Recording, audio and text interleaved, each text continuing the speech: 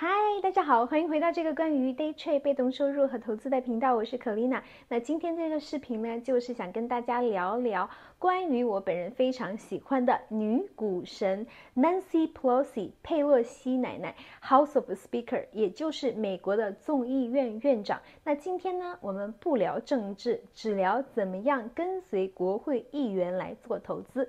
那相信呢，很多这个做美股的小伙伴们，在二零二零年到二零二二年之间，不管你是在 TikTok、YouTube 或者 Google 也好，只要你打入 Nancy Pelosi 这个 keyword，它第一个出来的。可能是 Nancy Pelosi portfolio，Nancy Pelosi 这个 stock tracker，所以呢，真的是现在呢追随 Nancy 奶奶的这个做投资的小伙伴真的是非常非常的多。那今天视频呢，我们整体来分析一下 Nancy 奶奶基本上都做了哪一些非常厉害的这个投资。那以后呢，我们怎么样跟随 Nancy 奶奶做这个投资？好，我们先来看看我们的 Nancy 佩洛西奶奶到底有多厉害。Comes only a few weeks after House Speaker Nancy Pelosi doubled down on members' right to invest in the stock market. Should members of Congress and their spouses be banned from trading individual stocks while serving in Congress? No, I don't. No to this second one. This is a free market, and people. We are a free market economy. They should be able to participate in that.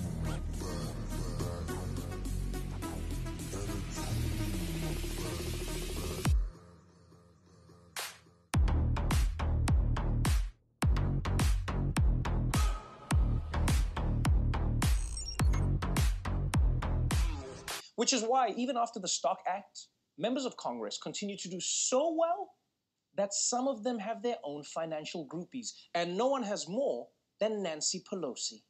Some TikTokers are getting stock market ideas by tracking members of Congress, and one of their favorites is House Speaker Nancy Pelosi. Nancy Pelosi just purchased millions of dollars in call options. You've got to see this. Shouts out to Nancy Pelosi, the stock market's biggest whale.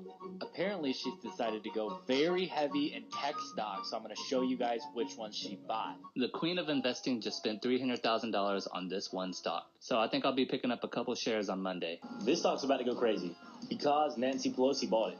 Yeah, that's right. Nancy Pelosi is a star on TikTok.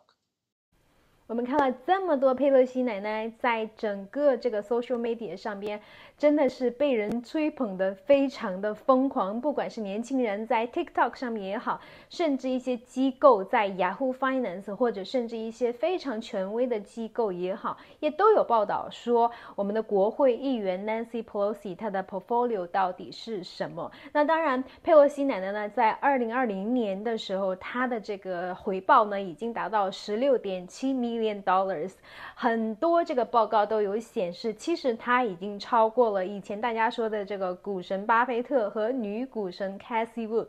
所以呢，我们的 Nancy Pelosi 真真正正的是我们这几年的一个。非常又有实力又有头脑的一个女股神，真的是让大家非常的这个青睐。那我们的女股神呢，是通过她的老公啊进行了一系列的投资。它主要呢做的都是这个期权期货，可能会比较多。不管是在这个二零二零年这个国会刚刚通过的这个 EV bill，他就重仓了这个 Tesla，和最近的呢刚刚这个 Chips bill，他就重。仓了 Nvidia，所以呢，不管怎样啦，我们不管政治也好，国会议员可不可以投资也好，这些都跟我们没有什么关系。我们重要的是怎么样去跟随对的人，赚到自己想赚的这个钱。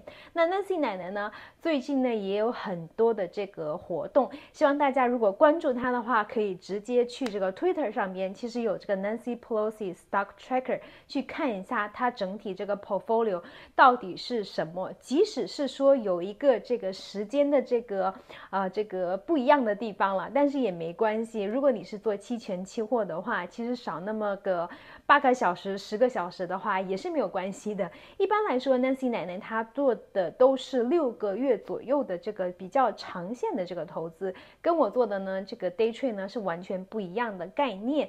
但是呢，我也会看它整体的这个 option，也是期权期货这个到期的日子会有怎么样大的这个变动来改变我的做 day trade 的这些方法。所以今天这个视频呢，简单跟大家聊了聊关于佩洛西奶奶的一些投资上的一些策略和一些我真的觉得好厉害的地方。如果你知道更多，希望你在下边留言告诉我，我们大家一起讨论。那今天的视频我们就到这里，下期再见，拜拜。